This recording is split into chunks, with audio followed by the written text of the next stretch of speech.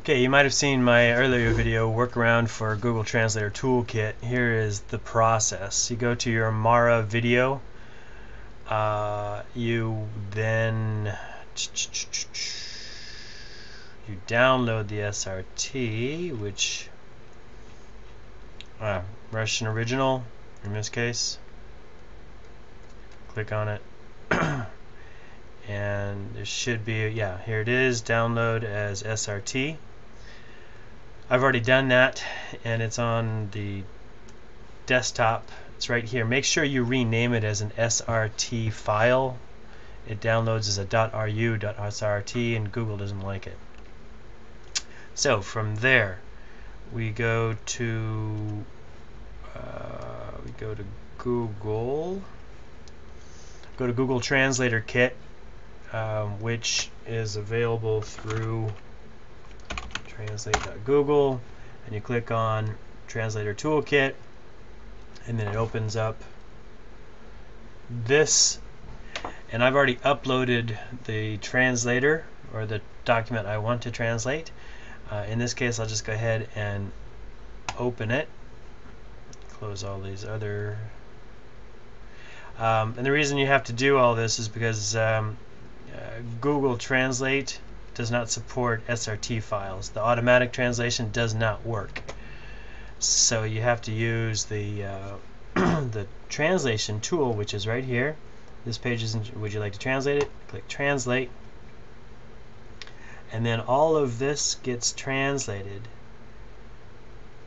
See that these are now translated into English.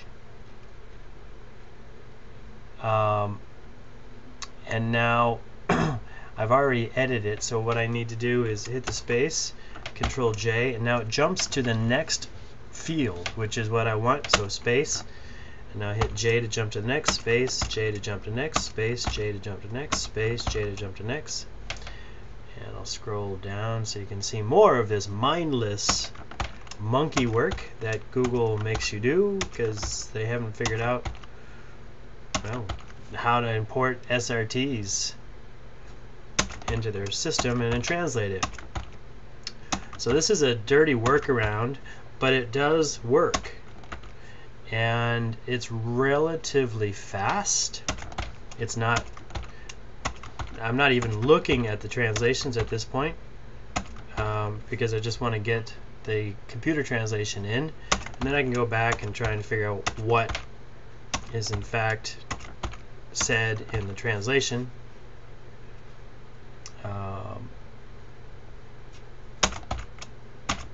in Russian, so I can figure out what they're saying in Russian, and, and I'll have a, a rough sense of what they're saying in English. Uh, actually, both. I'll have a rough sense of what they're saying in Russian and a rough sense of what they're saying in English. But that's how you do it, and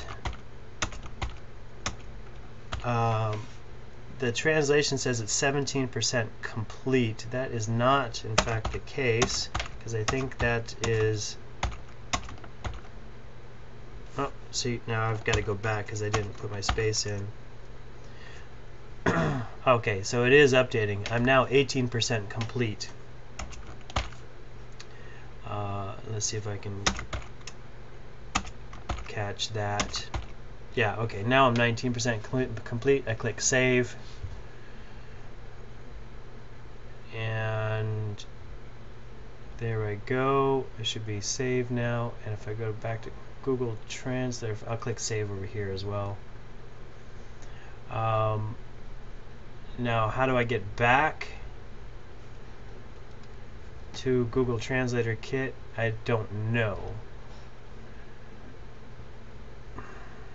Uh, and now if I F5 to refresh, it should show, oh, it shows 10% complete now.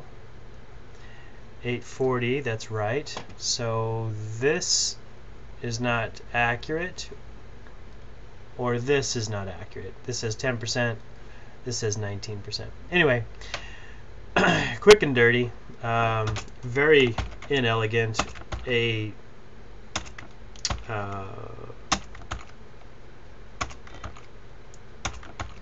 a macro of some kind would be ideal so that I could just point the macro at at this at these fields and have it perform the space control J for me automatically. I'm not quite sure how to do that. Um, but there it is. It's not pretty. It's not efficient. It's not, uh, it's certainly not the work of a programmer. But it gets the job done. And sometimes that's all you need. Thanks for watching. Happy computing.